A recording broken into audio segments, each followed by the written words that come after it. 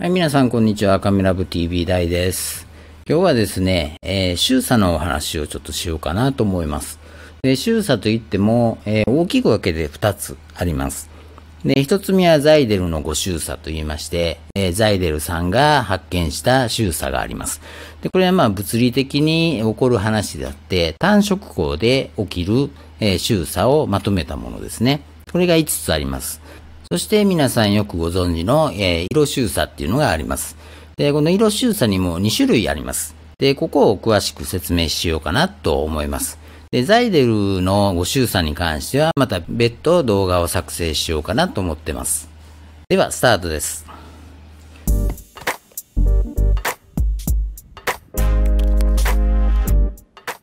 まず、色周差ですけども、まあ、これは基本的に可視光でどれぐらいの焦点位置がずれるかっていう話にはなるんですけども、まずですね、2種類あると言いましたけども、その一つが、えー軸上色周差。で、もう一つが倍率色周差っていうものです。で、軸上色周差の方からまず説明しますね。で、これ軸上ですんで、光軸上での話を言います。で、光軸上でレンズを通った光が焦点の位置に結びますと。この時、色によって焦点の結ぶ位置が変わるんですね。青色から赤色までまあありますけども、青色っていうのは波長が短いんですね。で、これ屈折をたくさんしちゃうんですね。そして色を RGB で表すと、グリーンが真ん中ぐらいの波長になりますんで、グリーンを基準に考えたときに、青色の波長っていうのが短いので、レンズ側で就光する。で、赤色の方はグリーンよりも後ろで就光するということになります。これが色周差なんですね。で、この色周差をなくすというのが、非常に重要なんだけども、そこであの言葉として覚えておいてほしいのが、アクロマートっていう言葉があります。で、アクロマートっていうのは、この青と赤の光を同じところに就光させましょうという風に作られたレンズシステムの名前と覚えてください。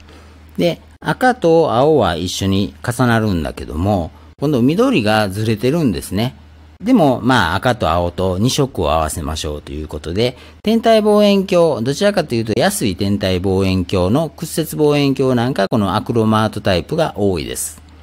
そしてですね、もう一つあるのがアポクロマート。これはその3色ですね。RGB の3色を同じ位置に就光させましょうというのがアポクロマートです。この言葉を覚えておいていただければなと思います。結構いろんなところで出てくると思います。そしてこの軸上色周差っていうのを取るために、まあアポクロマートがいいんだけども、このアポクロマートを完成させようと思うと、異常分散とか、異常低分散とか、そういう特殊な、えー商材ですね。ガラス材。これを使わないとできません。望遠鏡の世界でよく、えー高級な望遠鏡でよく使われるのは、あの、ホタル石ですね。フローライトです。で、これを使って完璧なアポクロマートを作りましょうっていうのは望遠鏡の世界でよくやられてます。10センチクラスであれば簡単に100万円超えるとか、それぐらいの高価なものになるんですけども、よく使われてます。そしてですね、写真のレンズでも同じように異常分散とか異常低分散とか、その辺を使って色周差、軸上色周差をとにかく減らすっていうのは皆さん努力されてます。えーこの軸上色周差っていうのは、後でソフト的に取るとか、そういうことが一切できません。これはもう発生したら発生したままですんで、なので、ここは設計的に完全に抑えておかないといけない領域になります。そして次に倍率色周差の方ですけども、これも色によって焦点の結ぶ位置が変わるんですけども、これは光軸方向に変わるんではなくって、あの、プリズムで小学校の時に太陽の光入れて、えー虹を出すみたいな実験したのを覚えてると思うんですけども、あれと一緒です。要はレンズもプリズムみたいなもんですよね。なので、あの、レンズを通った後っていうのは、青の光がたくさん曲がって、赤の光があまり曲がらないという現象が起きちゃいます。なので、焦点を結ぶ位置が平面上で、撮影画面上で位置がずれてしまうという現象が起きるんですね。でこれはですね、ソフト的に対応が今可能になってます。なので、倍率色周差が出た場合、ソフト的に結構対応してます。ただですね、えーあまり青色がずれたりすると、結構これ、あの、パープルフリンジとか言って出るんですよね。で、昔はよく出てたと思います。昔のですね、IR カットフィルターのところっていうのは、UV カットってあまり入ってなかったんですね。なので、パープルフリンジが盛大に出てたんですけども、で今は IR カットだけじゃなしに、UVIR カットとして入ってます。なので、えー、UV のところ、だいたい400ナノぐらいのとこですけども、そこはもうカットされてるので、パープルフリンジは出にくくなってます。ソフト的にも対応できるようになりましたので、ほとんど今、騒がれなくなりましたよね。昔はよく言われてましたけども。ただですね、UV、IR カットのところの UV と、それから IR カットの700ナノ以上ぐらいのところ、これはですね、干渉フィルターで作ってます。干渉フィルターって何かっていうと、蒸着フィルターなんですね。で、蒸着フィルターっていうのは、そのコートした、えー、ガラス板なりに垂直に入った光に対して、その波長をカットするようにできてるんですね。まあ、その波長以上、その波長以下をカットするようになってるんですけども、これが斜めに入ってきてしまうと、その波長というのがシフトしていくんですね。なので、あまり斜めに入った光っていうのは波長がシフトしちゃうので、ちょっと出てきたりすることもあります。なので、えー、極端に射入者のレンズであるとかは、これが多少出てくる可能性っていうのはないことはないです。そして視聴者さんの方から、えー、質問いただいたんですけども、青ハロとよく言われるものがあります。これ天体写真なんか撮られる方はよくご存知だと思うんですけども、あの恒星の周りにですね、青い光がぼやっと出ると。これどこにでも出ると。で、明るければ明るいほど割と盛大に出る場合があります。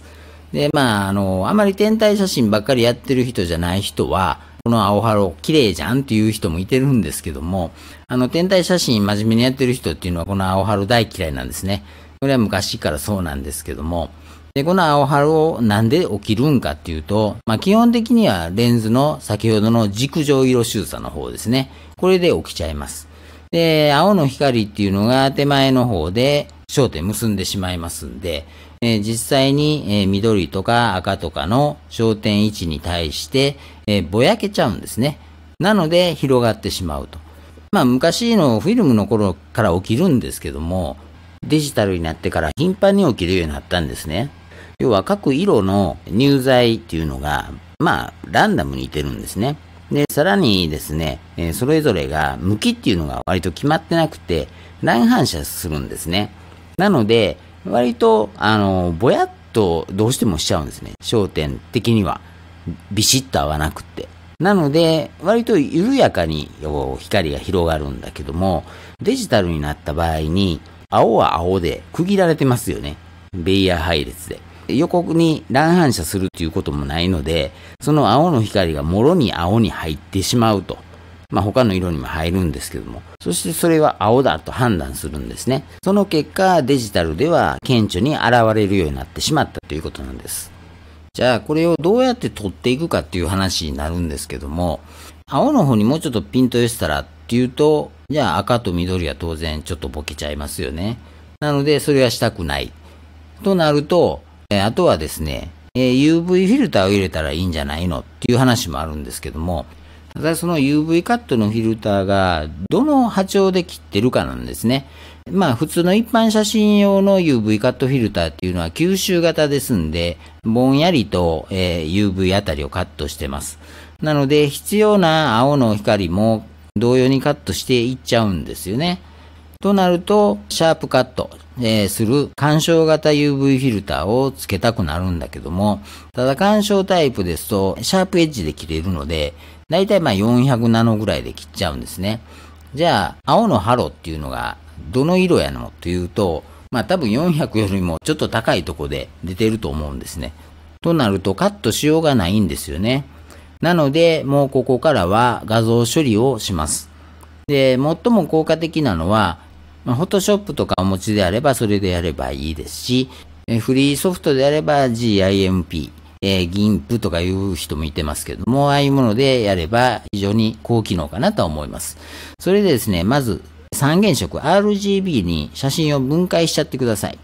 で、ブルーの写真のところっていうのがえー、非常にふわっと広がった写真になってると思います。なので、えー、ここをですね、シャープをかけとか、マスクをするとかいう風に画像処理をしていって、その広がった、青の光をキュッと縮めてください。そうして、また RGB を合成すると青春は消えていきます。で一番これが手っ取り早く効果的に補正はできるとは思います。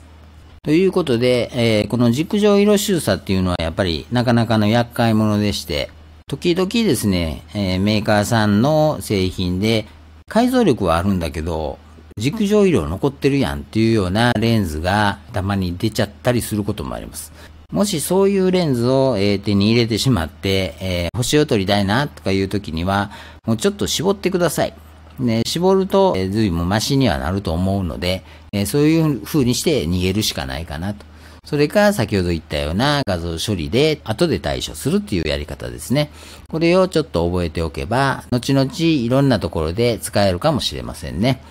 ということで、えー、今日はちょっと短いですけども、色収差のお話を、えー、してみました。ということで、今日はこの辺にしたいと思います。では、バイバイ。